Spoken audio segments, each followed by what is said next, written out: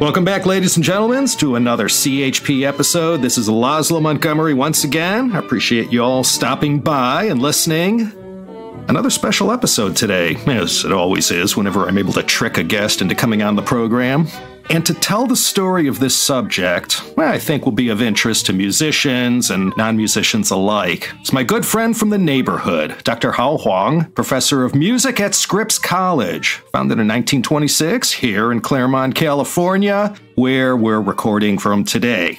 In person, none of this Zoom or Zencastr stuff. Dr. Huang is educated at Harvard, Juilliard, and State University of New York. He's also a four time United States Information Agency artistic ambassador to Europe, the Middle East, and Africa, and has a list of awards, concert appearances, and accomplishments longer than the uh, Karakoram Highway, hmm, just about. Hao Huang, welcome to the CHP. It's a pleasure to be with you. Great to have you. And I have no uh, small number of Hakka listeners here in the U.S. and around the world. Anything you'd like to say to your uh, fellow Hakkas? Sure. As a proud descendant of the Hunan Huangs, I'll say Fengyang. Ah, okay. Hunan Huang. Which part of Hunan were the Huangs from? They're from Wanliwu, which is near Changsha. Ah. Did you ever get to visit the ancestral home? Yes, and it had been completely flattened by the Japanese, so there was one hut in ah, the middle of it. All right. Well, and you uh, were also the producer and presenter of the podcast Blood on Gold Mountain that dramatized the events leading up to and during the 1871 LA Chinatown massacre. And that was powerful. You and Micah really put on a moving performance, and I really enjoyed the whole thing. And a lot of people, coast to coast, especially here in Cali, pitched in to raise awareness about this little known event from LA history. A lot of organizations, besides yourselves, held a all kinds of vigils and events and remembrance. And the music was great for that one you produced and performed right at the scene of the location of the 1871 massacre. Thanks for your kind thoughts. My son Micah Huang wrote the sound score, and we wanted to help recover a neglected, traumatic past that unfortunately stays relevant today.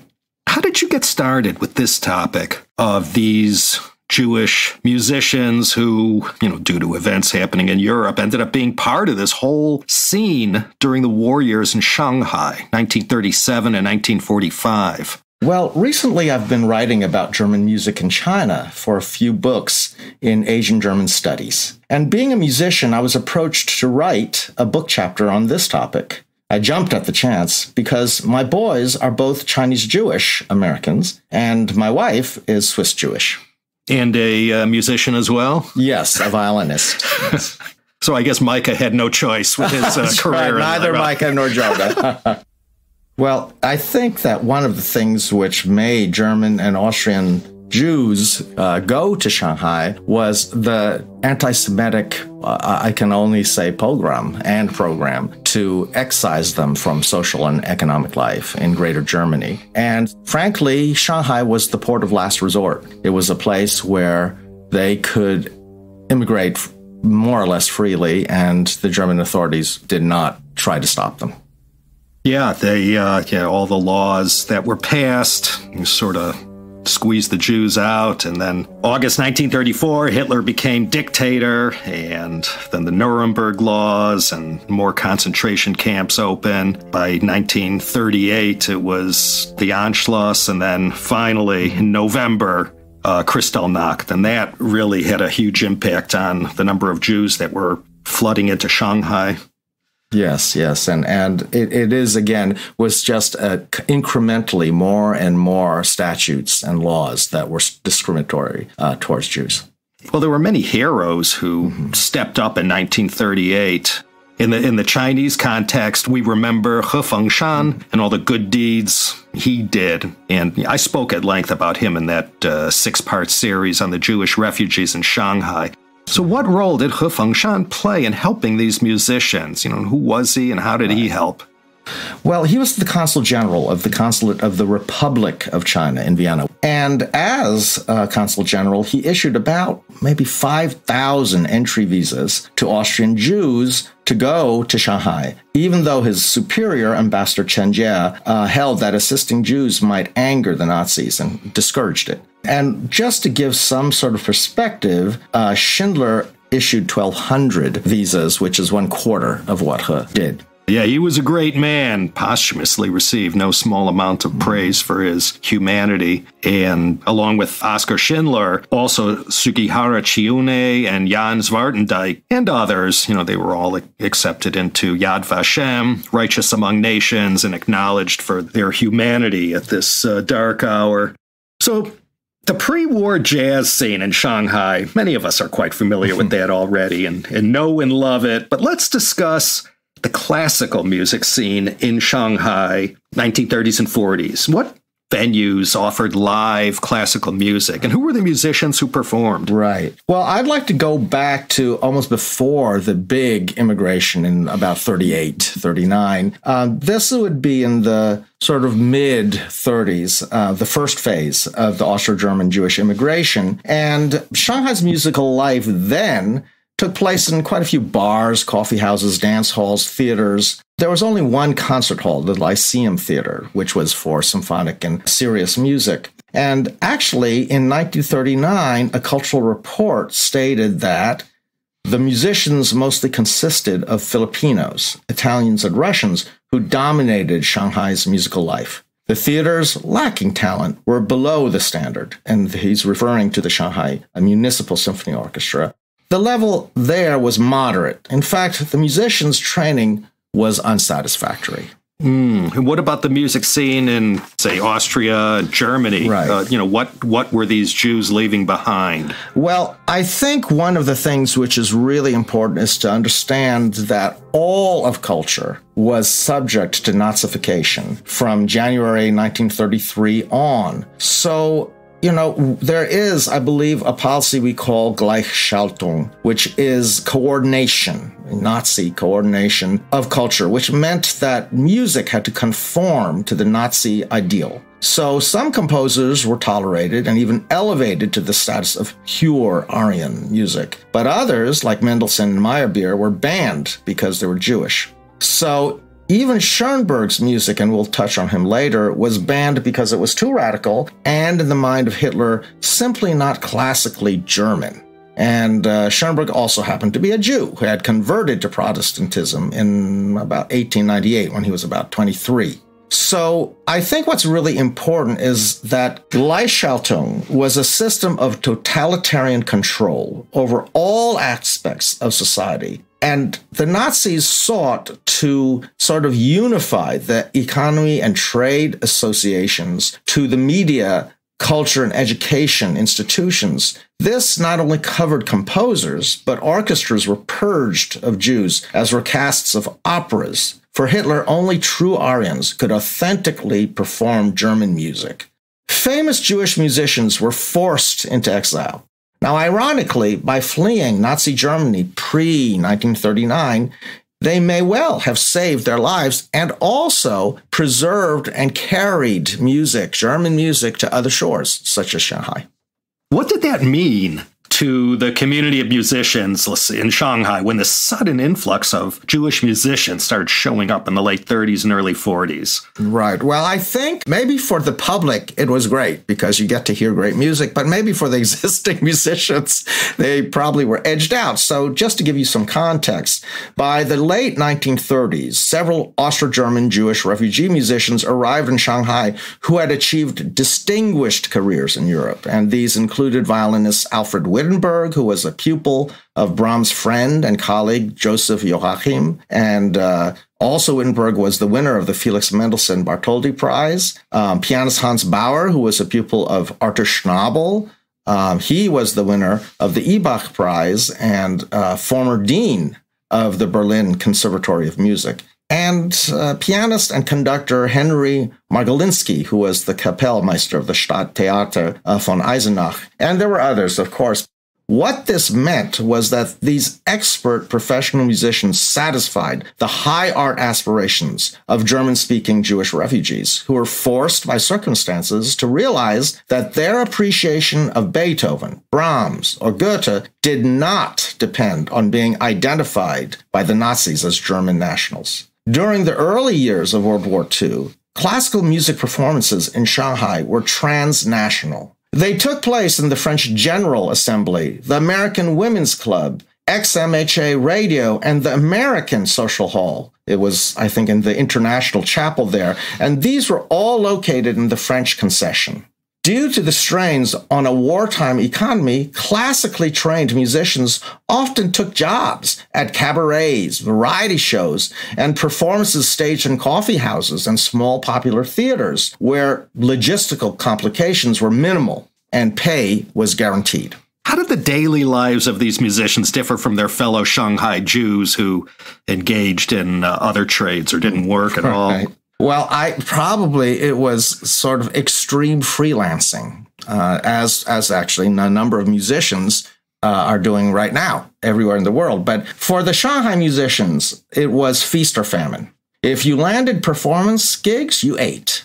If you didn't land a job, you might not eat at all.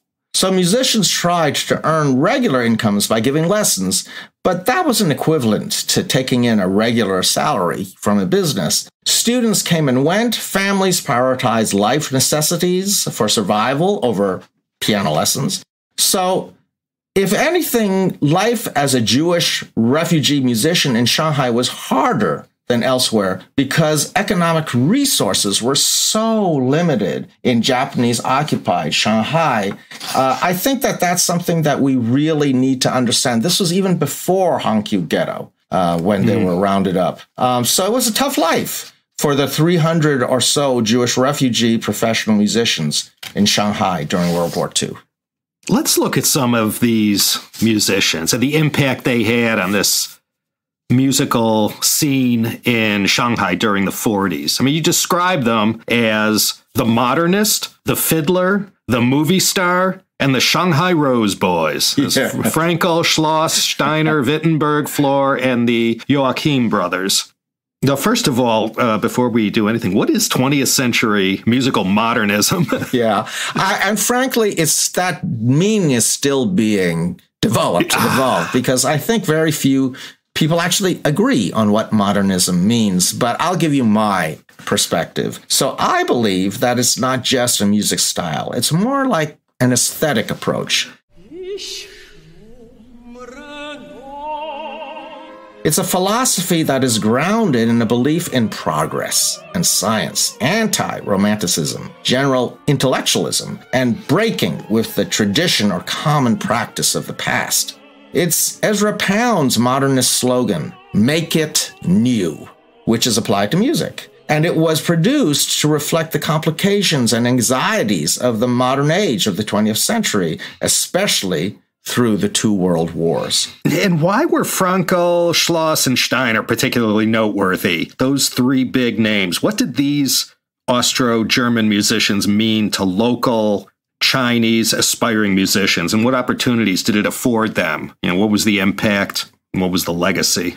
Right. That's such an important question. And what I think it can be explained by is that of several hundred Jewish musicians who fled Greater Germany to live in Shanghai, only three, those three, qualify as representatives of 20th century musical modernism. Berlin composer, musician, and ex civil judge Wolfgang Fraenkel, who was born 1897, died in 1983. Alban Berg's German amanuensis Julius Schloss from 1902 to 1972, and pianist Karl Steiner. Uh, his dates are 1912 to 2001.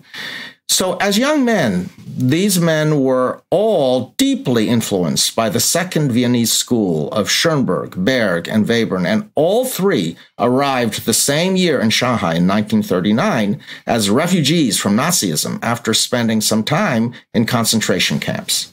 So, honestly, their music was of no interest to the general music listening public in Shanghai, um, either Chinese or Jewish, because they they wrote music that wasn't uh, wasn't happy making for audience ears.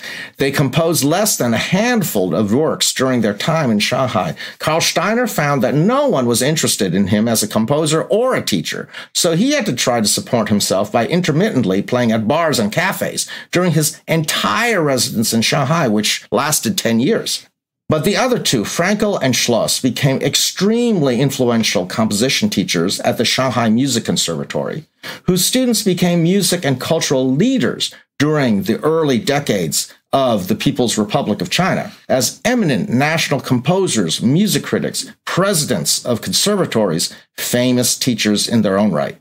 These German Jewish musicians nurtured a new Chinese art music practice that involved a sophisticated amalgamation of Western music elements and pre 20th century Chinese music that symbolically represent a distinct national character Barbara Mittler suggests that a paradigm shift has been made. The term Chinese music is no longer exclusively reserved for indigenous Chinese traditional music, but this has broadened to encompass a new hybrid music, which is a product of negotiation with Western musical influence. So this new Chinese music shares the same temporal space as new music in the West. So then, what about uh, the so-called composer and professor Wolfgang Fraenkel? Yeah, he's pretty interesting. He sure is. Well, he, first of all, he has a great first name, right, Wolfgang. Um, but uh, he was born in Berlin. He was educated as a lawyer and worked as a judge at the Berlin Court of Appeal until April 1933, when the Nazis instituted the law for the restoration of professional civil service, which basically excluded Jews and other politically unreliable people from civil service. So he was lucky to have been extensively trained in music as a child. So Fraenkel took lessons from the members of the Waldemar String Quartet and later studied piano and music theory at the Klindworth Scharwenka Conservatory. After being interned in Sachsenhausen concentration camp for one or two months post Kristallnacht, Fraenkel was released on the promise that he would leave Germany at once. So he disembarked at Shanghai on May 7th, 1939. He was 42 years of age. Stripped of financial resources, Fraenkel decided to start working as a performing musician almost immediately upon his arrival, and he was hired as a violinist for the Shanghai Symphony Orchestra. Two years later, Fraenkel joined the theory and composition faculty of the National Vocational Music School. Yes, yes. And that was later renamed the Shanghai Music Conservatory, which has become world famous. Mm-hmm. He provided instruction in tonal harmony, counterpoint analysis, instrumentation, and composition, and introduced Arnold Schoenberg's essay, Composition in 12 Tones, to Asia.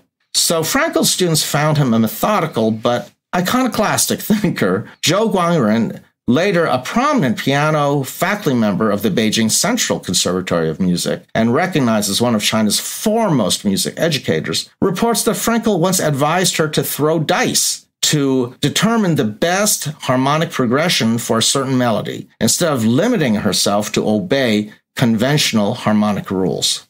And this is decades before John Cage became very famous for doing the same thing in his music Dao Te Ching. So when did uh, Fraenkel leave Shanghai or did he stay behind? Well, he left Shanghai at the beginning of the Chinese Civil War between the People's Liberation Army and the Kuomintang National Army uh, in about 1947, early in that year. And he moved to Los Angeles later that year, where he resumed his compositional activities. And sadly, although Fraenkel was a remarkably prolific composer who wrote nearly 200 pieces over his lifetime, only four were published while he was alive. Wow. And my favorite, the violinist and teacher, Alfred Wittenberg. What about him? He was a pupil of Brahms. You're uh, so right. He was, I think, a student at the Musikhochschule Berlin where he was awarded the Felix Mendelssohn Bartholdy Prize for violin in 1901. He was also a very well respected pianist. He was a double threat, so to speak. After surviving the terrors of Kristallnacht, Wittenberg emigrated to Shanghai in 1939 with his wife and mother in law. He was already 59 years old.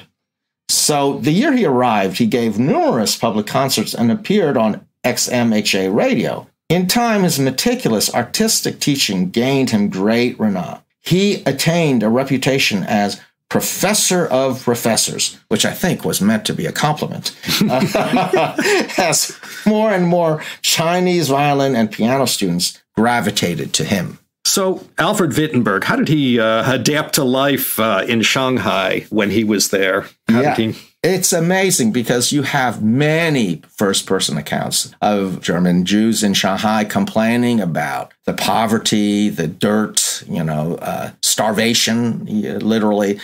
But there were some, like Wittenberg, who felt comfortable enough in Shanghai that in 1941, so this is two years after he got to Shanghai, after one of his students offered him a life in the United States with good job opportunities, a house, and a car, Wittenberg chose to stay in Shanghai. Upon the Japanese establishment of a restricted area for stateless refugees, which meant Jews from Greater Germany, in 1943, Wittenberg and his family were forced to move into a tiny apartment in the Hongkew ghetto. And subsequently, his performing and teaching income was cut drastically. And uh, while he was there, there was a I mentioned him in my series, the the King of the Jews, Kano Goya. Did he have any run-ins with uh, Goya, yes. the infamous Goya? The infamous Goya. I think it was hard not to have run-ins with Goya, but but as someone who was uh, significant in the Jewish society, community in Hongkew Ghetto, of course, yes, Wittenberg had a very unpleasant encounter with Mr. Goya.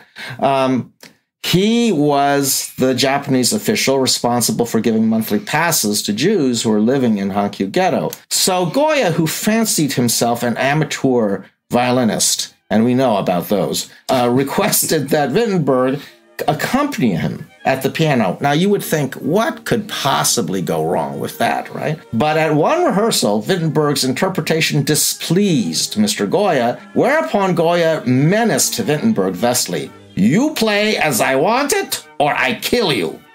this is an instructive case of artistic disagreement resolving in coercion through the threat of execution. Now, that's even very special for among musicians. We, we, we, threaten other things. You don't get, yeah, that doesn't happen too often. No, no, that's a real critic. After the Japanese surrender in 1945, free from Goya's bullying, Wittenberg was hired to teach at the Shanghai Music Conservatory. In 1952, three years after the communist victory over the nationalists, Wittenberg died at age 72 from a heart attack while playing the violin.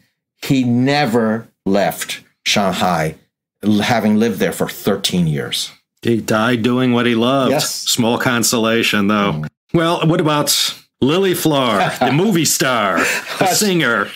What about her? She's uh, she's got a great story. Yeah, you you have more your high, higher taste, uh, Laszlo, for uh, picking on Wittenberg. I think Lily was my favorite when I found out about her. So Lily Flor, her natal name was Elizabeth Gunsberger.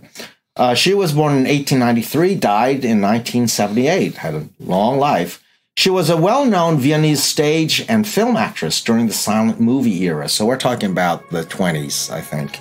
And uh, she made her stage debut in the Raimund Theater in Vienna at the age of eight. So she was a real prodigy. It's not just musicians. Her first feature film was Ein Lied uh, von Hass und Liebe, which was in 1918.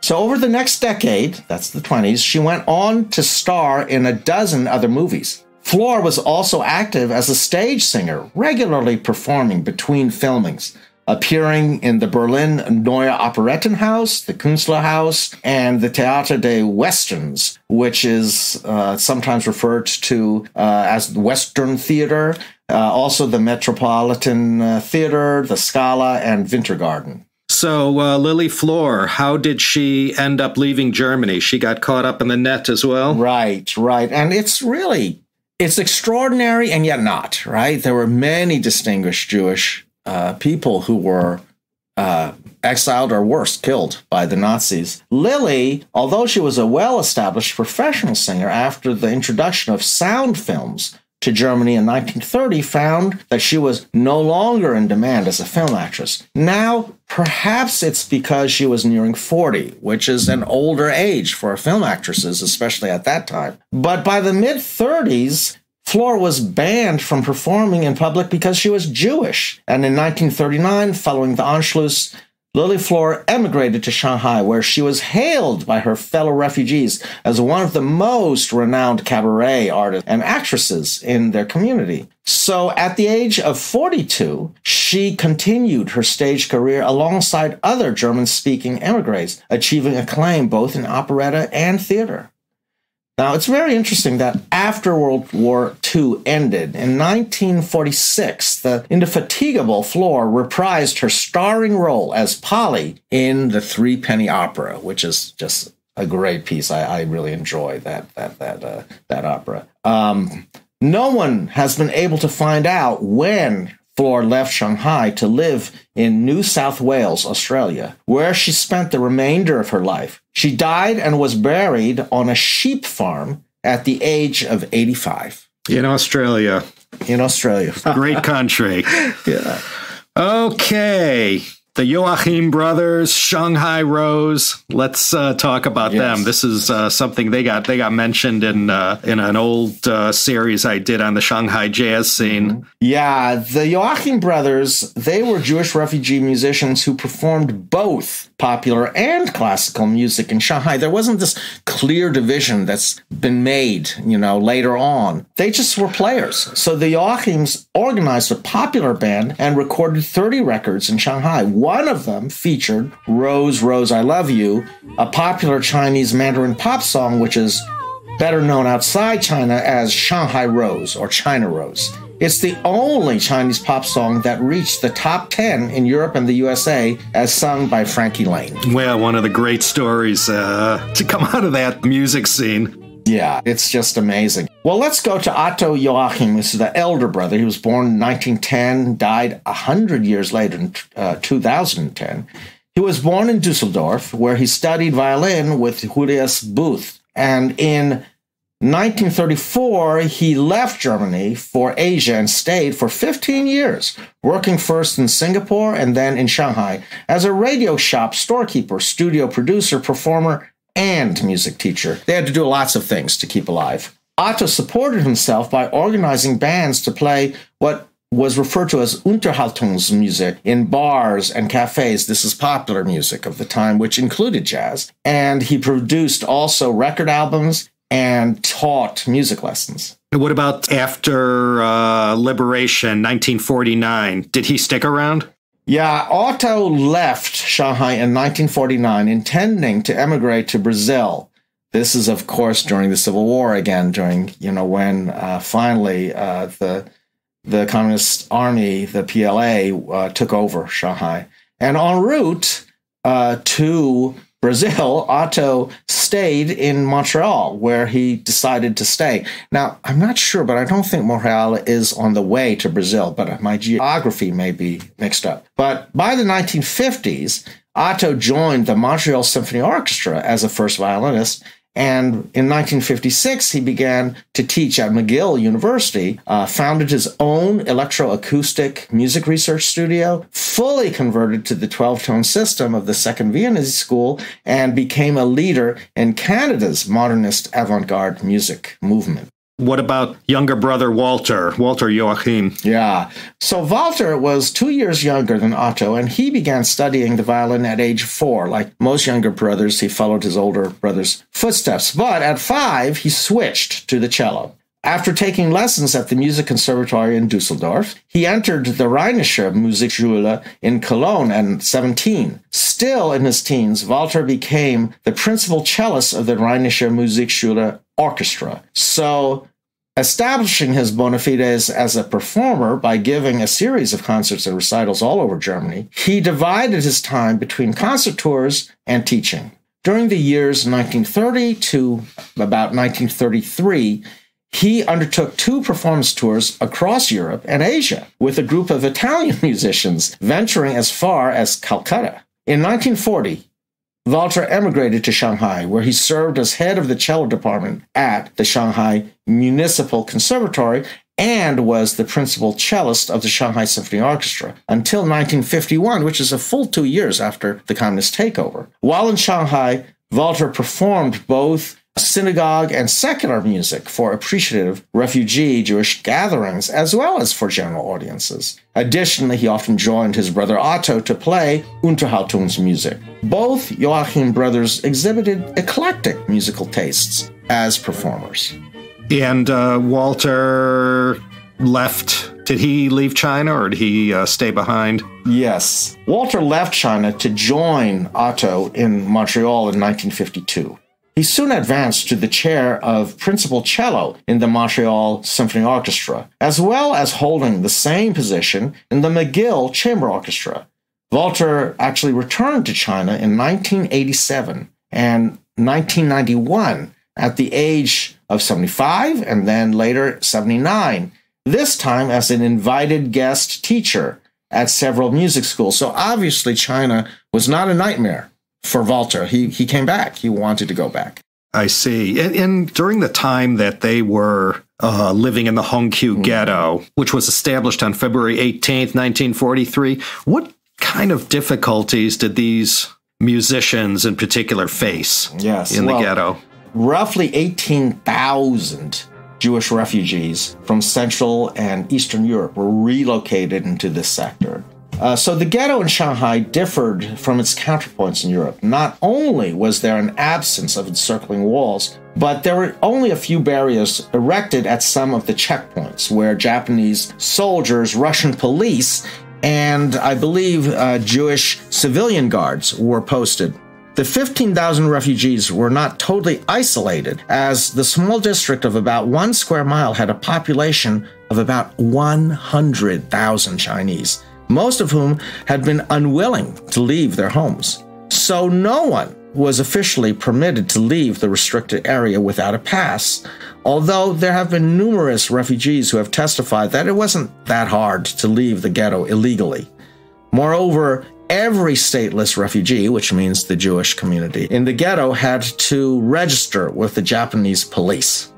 So during this period, uh, after 1943, were they stuck there? Were they able to get out? Were they right. able to perform? Right. Well, the musicians had been allowed to move across districts within Shanghai before the coerced confinement, right, at, at Hongkew Ghetto. But they found that despite being strictly confined to the restricted area, that the appetite for musical experiences endured even in the face of such constraints. So musicians performed often for minimal wages or without fees at all because they felt, and the community felt in Hongkew, that music constituted a precious, sustaining cultural element for the refugee community, where all were subjected to extreme poverty, and most survivors remember particularly the awful pangs of hunger that came from starvation, which were sometimes allayed by music and other cultural activities. And to answer your point directly, a few were able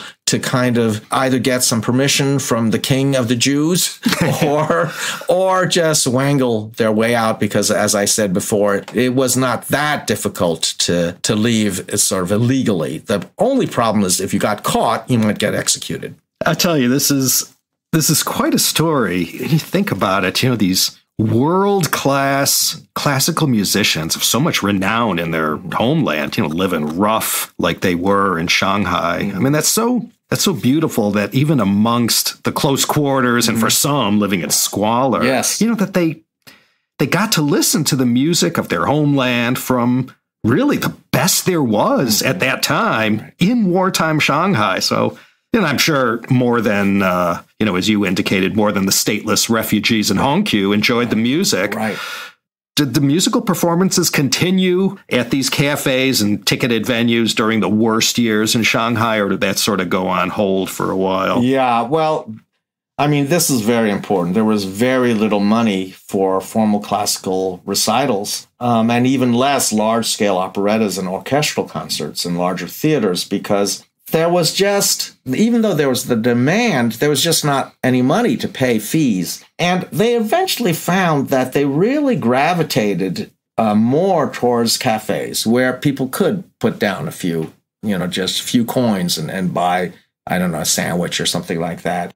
So you have really sort of the rise of cafes where Unterhaltungsmusik, music, light music was played. This is what we identify as jazz. And I think what's really interesting about Unterhaltungsmusik music uh, is that it was promoted by the Third Reich, even though you can really trace it to American popular music of that time just because it was so popular that even though it was not reliant on German ethnic content and concepts, it was just too popular to ignore. And this is where Shanghai classical musicians also found it was too important, too popular to ignore. So many uh, classically trained musicians found themselves playing light music in cafes because that was the way they could make money. And that, in fact, was not only in the ghetto. That was also other in other places outside the ghetto in Shanghai. You know, this was it was quite extraordinary to have this level of talent in China mm-hmm. all in one place yes, at yes. one time too. Yes, yes. So during this time, I know there was so much daily interaction mm-hmm. between these musicians and their Chinese neighbors, and I'm wondering, did they teach or serve as inspiration for any any noteworthy uh, Chinese musicians, especially those in China who went on to great things yes, post uh, 1949. Who was there? Yeah. So I think it's been established that of the 23 Chinese composition students of Fraenkel who can be identified by name, several became leading national music figures, such as Ding Shande. Ah, the Long um, March Symphony. Right. Sang Tong, uh, Qu Xixian, uh, Duan Pingtai, and Zhang Hao. Yeah, Chu Qu Xixian. She mm-hmm. was a, she was a giant during yes, the fifties exactly. and sixties. Right, right, right. And then Schloss taught also Ding Shande, Qu Xixian, Sangdong, Tang Zhengfang, Huang Yizhen, and Chen Chuanxi. And these all became leading Chinese composers and pedagogues over the following decades. So the impact on Chinese music and Chinese musical training is enormous from these two musical modernists. Yeah, as and I, as uh, I mentioned. Chen Chuanxi, he was one of the four great conductors of China. There you go. 四大音乐主会家. Mm-hmm. Yeah. Mm-hmm. And uh, now, Mr. Wittenberg, the violinist, his students, what's it strange is his most famous student uh, was Fu Cong who was the first Chinese pianist to achieve international recognition as a prize winner in the 1955 International Chopin Competition. Yeah, he was the Lang Lang of his day, and it was the toast of uh, London and New York all throughout the 1960s. And Fu Cong, I don't know if you know, he was married to the daughter of uh, Yehudi Menuhin.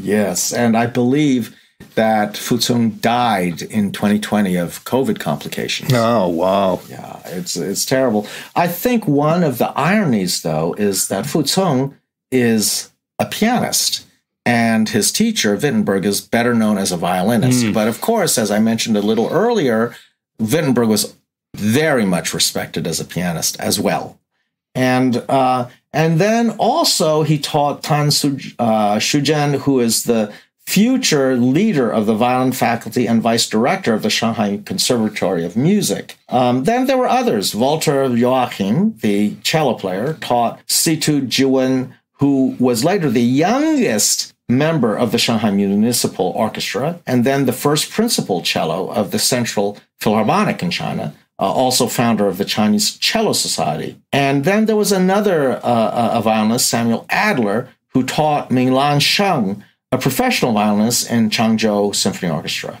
So, where can you see the legacy of these musicians? I mean, they spent all that time in China and they interacted with all these students, many who, you know, became major figures in classical music in China. Where do you see the legacy of them today in China's classical music scene? Right. I think this is one of the reasons I was so delighted to do this episode with you, Laszlo, because outside of their community, Austro German Jewish refugee musicians in Shanghai were essentially marginal, socially and politically. They remain unacknowledged in the general public consciousness because in Shanghai they did not produce internationally famous great works or uh, give celebrated performances that were known outside of Hongkew. Um, they were isolated by distance, language, and wartime exigencies, but nevertheless actively contributed to Shanghai's diverse musical life in both classical and popular genres, thereby influencing the history of music in China. They performed for and taught Chinese students who became leading composers, conductors, pianists, and instrumentalists of the People's Republic of China in succeeding decades. As Ming Lang Sheng's son, Fang Sheng, has asserted, many Jews express gratitude for Shanghai as a place of refuge, but they don't realize that the contribution they made back to Shanghai and to China as a nation is so important. They're giving us angry looks here at this recording studio in beautiful Scripps College, one of the Claremont colleges. Another perfect sunshiny day here in Southern California. Hao this has been a real great pleasure. We started talking about doing this a long mm-hmm. time mm-hmm. ago, and finally we did it. Yes. So I thank you for coming on the CHP and giving us uh, a musician's insight on these people, the history of the times they lived in, and about their lives and the impact of their lives on others. So uh, that's it. Uh, I'm heading over to Zhihe's at 3:30 for a mm. beer and to solve all the uh, contentious issues in U.S.-China relations. you're welcome to join us if you want. Any uh, any last words? Well, I just want to thank you for for focusing on this topic because I just think one of the issues we have to realize is how merged we are, that there's very little pure kind of national cultural traditions. We're, we're all, we've all depended on each other for inspiration and for different kinds of influences. Here, here. Well said. Let's call it a wrap. Our thanks to Micah Huang for all the sound editing. I'm sure more than a few of you were thinking, wait a second, this sounds too professional to be on the CHP. Thanks, Micah. This is Laszlo Montgomery signing off here on behalf of Hao Huang and ourselves, and I hope we pass the audition. Please take it under consideration to join us next time for what's gearing up to be another exciting episode of the China History Podcast.